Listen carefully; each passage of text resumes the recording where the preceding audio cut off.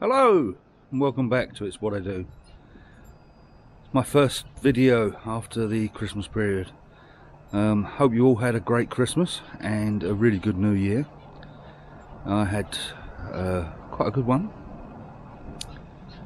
I had family down between uh, Christmas and New Year, um, so that was good.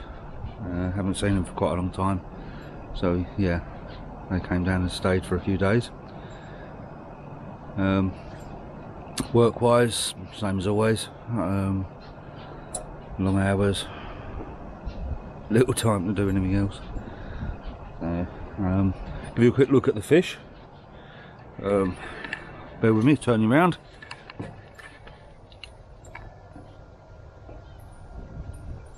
Just having their daily feed. I'm only feeding once a day, um, but they do get a good feed that once a day.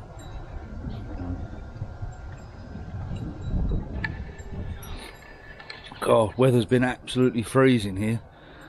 We've had uh, regular temperatures down below zero uh, overnight. Uh, at the moment, let's just show you, we're at, we're at 5.5, I think it is. Let me just show you. I don't know. Can you see that?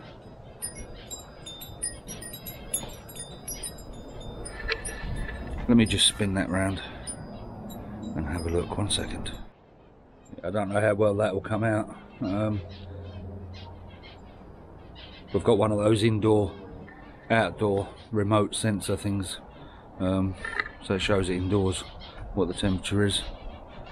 Yeah, and what's what's making it worse today um, is there's a wind and oh, it's icy. Really is icy. So I won't be out here for too long.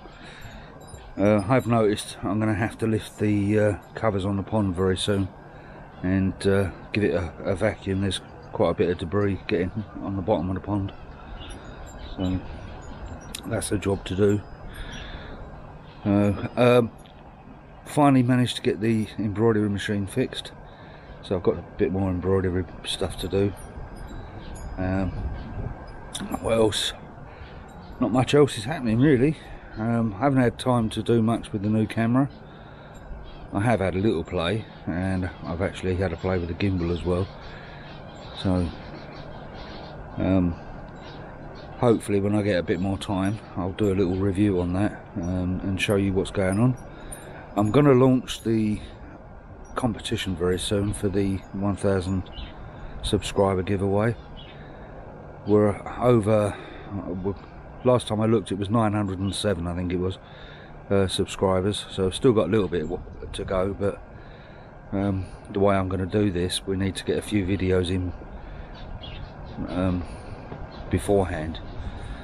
Um, you'll get the idea once I actually start doing them. So yeah that's what's happening.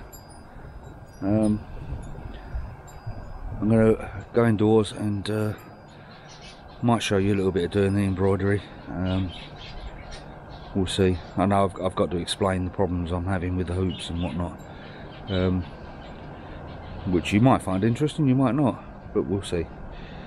Okay, see you in a minute. There you go, this is the inside part of that um, indoor-outdoor temperature thing. So on this side here, this is the indoor temperature. So at the moment indoors it's 19.6 and this is the outdoor temperature which is 5.3 uh, yeah it works quite well. Um, makes it easy to keep an eye on the temperature outside. So yeah. Okay so I'm sitting in the living room in a minute. Um, I'm going to put you on the headband in a moment because I want to show you these uh, these problems I'm having with the embroidery hoops um, you might hear the birds in the background, apologise for that, not much I can do about it. They do like to join in, so you, you might hear the parrots and whatnot. So, let me get you on headband and I'll show you the issue that I've had. Started to do this and then the uh, the app on the phone decided it wanted to update so it took me a little bit longer. Right, this is an embroidery hoop and this is the one that I've been using and I'll, I'll show you the issue that I've got with it. Now, embroidery hoop comes in two parts. Yeah. And you've all seen the cushions that I've embroidered and this is how I've had to do it now you'd put a, a backing um, stabilizer on there um, and then you have to put it inside the cushion and then carefully try and maneuver it round so that it's in the right position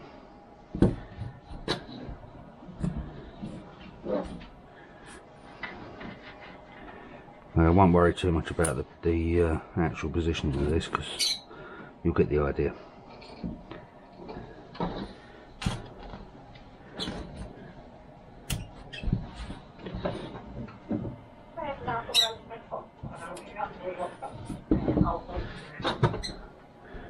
Okay, that's roughly in position, like so. And say it again like so. Um, it really ought to be my catchphrase. Right and, and, what I would normally do is measure the, the, the, distance top and bottom to make sure they was even to get it in the center you then have the other part of the hoop and you have to put that into the uh, bottom part like so and frame it in. Oh, that's a bit tight. I've changed the uh, the actual uh, cushion case because that other one was just too tight I couldn't get the hoops going. So it's in there now. That's how it fits together. And then this actually clips onto the machine. So these arms have got to be on the outside of the cushion the cushion case. Now the problem I got with this one because it is so big it's right on the limit. When it's actually on the machine I don't know how easy it is for you to see that but you've got a lot of tension on there on the underside of it. Well you've got an arm on the machine that has to go in there like that and then the machine sort of runs backwards and forwards across it. Now the problem I had was well while you're actually doing it it comes forward like that and then jams underneath there and it will jam the machine and causes it to uh, jump out of place and do all sorts of nasty things. So the only way I had of getting around it was uh, to actually sit with it the entire time it was um, stitching out the patterns and hold this piece and sort of guide it across the uh, machine. And that meant I was sitting there for like two and a half hours while it was, was stitched out. So, what did I do? I bought another hoop. Now this one is a 200 by 200 hoop and you can see it's quite a bit smaller in size to the uh, the other one which would give you more give underneath. The problem is for some unknown reason um, brother who is the maker of the machine only do this hoop with the arms on the outside part of the hoop instead of the inside part of the hoop like all the other frames. Now you've got the holes there to, to move them in but if, as soon as you move them in the machine then registers the hoop as being a smaller hoop and you can't fit the full size in there. So I thought okay I'll get onto them and see whether I can get some new arms. Now I contacted the supplier that I bought this from, sent them an email and got absolutely no response whatsoever none so I left it a little while and I contacted brother direct and asked them the question told them what the problem was and asked them whether they could supply these arms um, slightly longer so that they fit onto the inside of the hoop without making the machine register it as a smaller hoop. And it took a little bit of time um, but they did get back to me. Um, had a conversation with a guy um, from brother itself.